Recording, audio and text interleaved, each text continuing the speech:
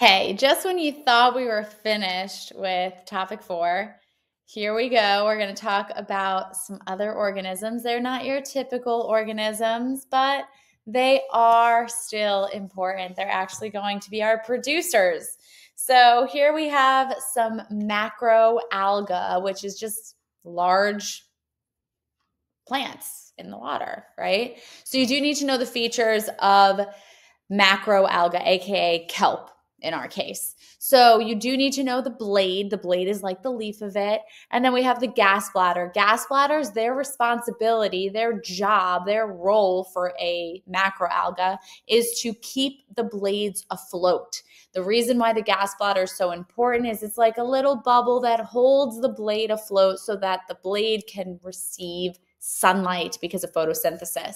Then we have the stipe, which is like the stem, and the holdfast because kelp holds on to things fast. That's their root system. So kelp is actually going to hold on to rocky substrates so that they don't just float away.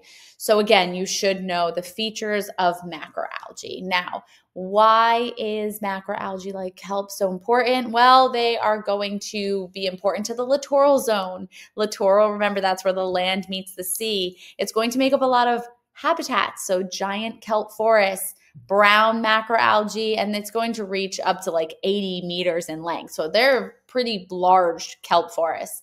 They're a crucial habitat because they generate a lot of energy. So they're going to generate a lot of glucose, which is going to increase productivity. And they're also going to generate from detritus matter, recycling that nutrients back into the seawater. So that means they're going to be at the base of the food chain and they're going to be a big part of keeping productivity high and biomass high within food chains. Now, another marine plant. We have seagrass. All right, so seagrass we can actually find close to the coast of Florida. So if you're in Florida, we actually have a lot of seagrass beds, especially in the Gulf. So seagrass is going to be made of a rhizome, which is the runner root system. They're going to have a flower and you'll also need to know the leaves. So, rhizome is the root system. It's like a little runner under the sand. They're pretty shallow. They have flowers and they also have the leaves, which obtain photosynthesis and sunlight.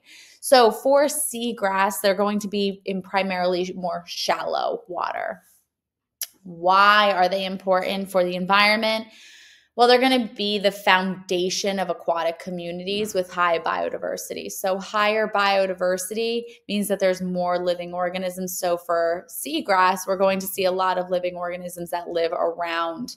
Um, a lot of organisms living around seagrass because of all the nutrients. Um, also, it's an important keystone species because it maintains the overall health of that coastal ecosystem. So, allowing for productivity to be high and biomass to be high.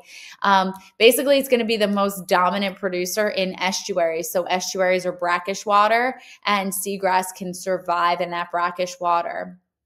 They also help absorb wave motion and they slow currents. It's going to reduce turbidity and improve the overall water quality. So remember, estuaries have very turbid water. So you can imagine that these marine plants like seagrass will reduce the amount of turbidity. That means increasing the amount of clarity in the water. So it's a little more transparent economically well it's going to support industries indirectly so it's not going to necessarily be a cause and effect. It's actually going to help down the line. So it's going to be a nursery ground for a lot of marine invertebrates and vertebrates, which means that small young fish will actually grow because there's a lot of productivity it's in seagrass bays so it's very important for these small fish to live in the seagrass not just for energy but also for protection um, seagrass also helps um, our land our coastlines from flooding weathering and erosion all right, folks, nice, short, and sweet for our last part of marine organisms. We are going to dive into biodiversity next, and then we're going to talk about sampling techniques. So stay tuned for the last few lectures or a few videos that I have for your chapter four. See ya.